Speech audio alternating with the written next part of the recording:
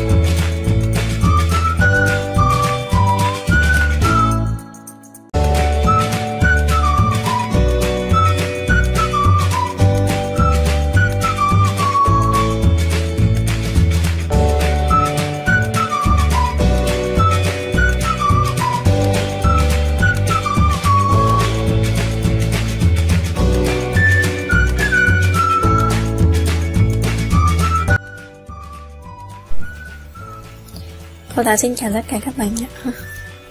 À, Đến hôm nay thì chúng ta đã cùng nhau đồng hành qua hai tuần của trại hè rồi.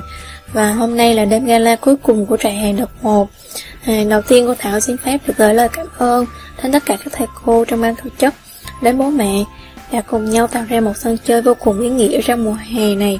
À, để cho cô Thảo được có cơ hội làm quen với tất cả các bạn nhỏ đến từ các tỉnh thành khác nhau để cô trò chúng ta cùng có cơ hội được trải nghiệm và làm quen với bộ môn mới.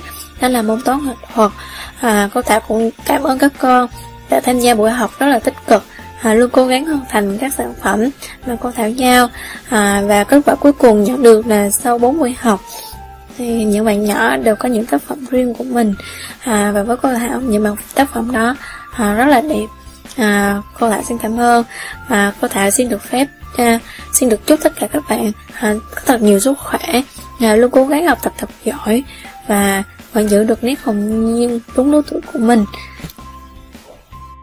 Lần đầu tiên em dạy nhiều độ tuổi như thế nên là thực sự là em rất là lo. Bởi vì uh, từ trước đến giờ mình dạy nó có chương trình hết rồi kiểu uh, lớp 6 thì học uh, lũy thừa lớp 10 thì học số mũ kiểu ví dụ như vậy. Và bây giờ làm nào mà để thiết kế cho tất cả các bạn trên 12 tuổi? Mà đến lúc mà chị Quyên gửi danh sách nó còn có những cái bạn ờ, uh, 10 tuổi. Hoặc là hôm trước có bạn lớp 6 đấy. Làm cho em kiểu ôi dạy cái gì để mà tất cả mọi người đều phù hợp mà các con mang tính chất dạy hè nó đều kiểu hồn nhiên uh, vui thích. Mà nhất là xong giống như bạn Thảo ấy. Thảo ơi chị rất đồng cảm với em là sau khi dự buổi của chị Ngọc sau mình cảm thấy ôi làm thế nào bây giờ tại vì buổi chị Ngọc quá là kiểu vui và kiểu các con rất là tích cực thế là đúng là những cái ngày gọi là mất ăn mất ngủ em cứ nằm em bắt đầu ngồi tìm kiếm rồi các thứ soạn tư liệu đến tận 11 rưỡi 12 giờ nằm ngủ tí một rưỡi lại bật dậy lại chỉnh chỉnh sửa sửa lại tìm kiếm tiếp. Kiểu như vậy. Thế là thực sự là trong cái khoảng thời gian một tuần vừa rồi em nghĩ là chạy hè cho các con mà cũng là một cái chạy hè à, cho chính bản thân em luôn một cái cơ hội để mà em uh, gọi là gì nhỉ? Maximize giới hạn của bản thân giúp cho em uh, um, bây giờ em tự tin hơn việc là kiểu làm thế nào để dạy các bạn có thể ở nhiều lứa tuổi khác nhau mà vẫn có thể uh, uh, giúp cho các bạn vừa hiểu được kiến thức vừa nắm được uh, nội dung mà vừa vui thích. Chỉ có cái sự hồn nhiên và tích cực làm cho người ta gần nhau hơn và cảm thấy là à mình phát huy nội lực của mình.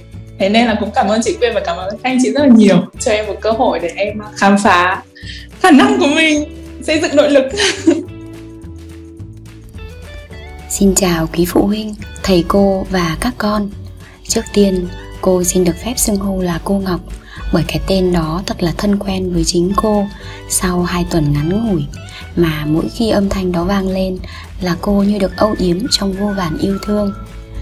Thực sự ngay lúc này cô đang ngập tràn trong hạnh phúc vô cùng và cảm xúc ấy cứ dâng lên sau mỗi giờ lên lớp với các con phải thú nhận rằng, đến với các con của trại hè hồn nhiên, cô thấy mình nhỏ bé thực sự. Cô rất bất ngờ trước những trái tim với dung lượng khổng lồ của tình yêu thương, của sự hồn nhiên và thẳng thắn. Chúng ôm trọn vũ trụ này vào lòng một cách thật âu yếm. Cô ngưỡng mộ trước sự nội lực đầy thu hút của các con bởi những nỗ lực không ngừng. Các con ham học hỏi, sáng tạo và rất nhiệt tình. Chính sức mạnh đó là đòn bẩy để cô cố gắng trong mỗi giờ dạy từ buổi đầu, cô đã vượt qua được áp lực của lớp khai màn không chỉ của trại hè, mà còn là khai màn cho chính cô sau hơn 3 năm cô đã gác nghề đi dạy. Cảm xúc hồi hộp, lo lắng bủa vây và chạy đua với thời gian để kịp bài giảng cho mỗi giờ lên lớp, đến giờ vẫn còn bồi hồi trong cô. Nhưng nhờ có các con mà cô biết được cô vẫn có thể làm việc thật đam mê trong cái sốt 39 độ vẫn có khả năng soạn bài chẳng giống ai mà vẫn được các con đón nhận bằng tất cả tình yêu thương chiều mến. Cô xin gửi lời biết ơn tới quý phụ huynh, các thầy cô của ban tổ chức và đặc biệt là các con, những người thầy của cô về sự hồn nhiên, thẳng thắn và nội lực. Cô tin rằng chuyến xe của những niềm hạnh phúc sẽ không bao giờ thôi chuyển động khi mà chúng ta sống với những điều tốt đẹp và mang lại giá trị thật cho xã hội này. À, cô Quyên xin chào tất cả các con. À, Ngày hôm nay là ngày cuối cùng của trại hè 01 rồi. Xin chúc tất cả các con luôn hạnh phúc này, vui vẻ này à, Hồn nhiên và luôn trong trạng thái là tìm tòi khám phá những điều mới trong cuộc sống. Và chúc bố mẹ sẽ luôn đồng hành cùng với các con Và các thầy cô luôn mạnh khỏe, hạnh phúc để trao đi những giá trị thật là tuyệt vời. Và còn gì nữa, trại hè hồn nhiên 02 đã chính thức bắt đầu rồi. Các thầy cô rất vui khi lại được đồng hành tiếp với các con. Xin cảm ơn.